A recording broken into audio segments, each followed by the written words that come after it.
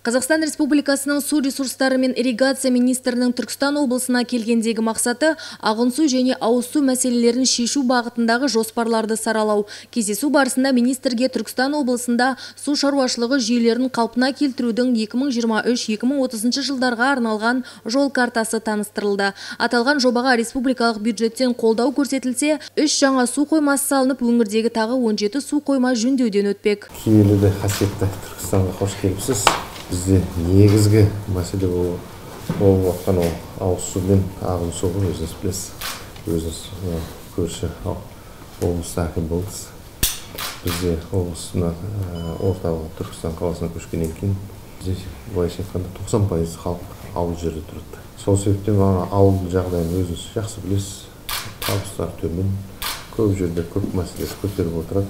Осы ретте ведомство басшысы оңтүстік өңірдегі суға қатысты өзекті мәселелерді кезең-кезеңмен шешу үшін бірлесе жұмыс істейтінін айтты. Яғни аймақтағы бұқараны сапалы ауыз сумен қамту шараларын уақытылы орындауда су министрлігінен қолдау болады дейді министр.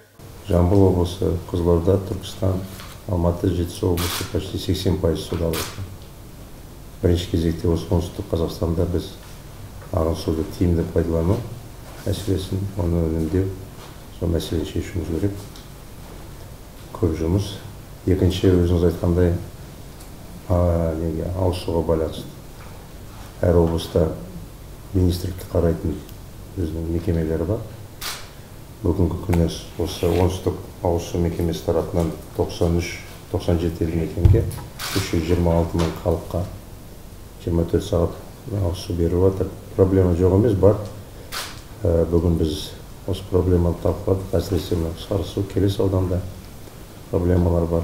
Бүгінде облыста өмір сүретін халықтың 90 пайызы ауыл шаруашылығымен айналысады. Сондықтан да жергілікті тұрғындарды ағын сумен қамту ең маңызды жұмыстардың бірі. Облыс ұсынған жоспар министрліктен қолдау тапса, өңірдегі 250 мың гектар суармалы жердің мелиоративтік жағдайы жақсарады. 250 мыңға жуық тұрғын сапалы ауыз сумен қамтамасыз етіледі. Каналдар, қашыртқылар, ауыз су құбырлары жөнделмек. Ал бұл жол картасына жалпы 58 жоба енгізілген. Диана Біржанова, Абзал Тұрабеков, Отырар телеарнасының жаңалықтар қызметі.